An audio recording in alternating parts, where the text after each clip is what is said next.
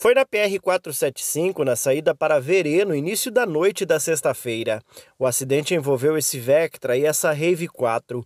O motorista do Vectra, que não teve o nome divulgado, não resistiu aos ferimentos e morreu no local. Na caminhonete viajavam três pessoas, duas mulheres e uma criança que estava na cadeirinha. Em um dos veículos havia uma criança, ela estava ilesa, já tinha sido retirada por terceiros.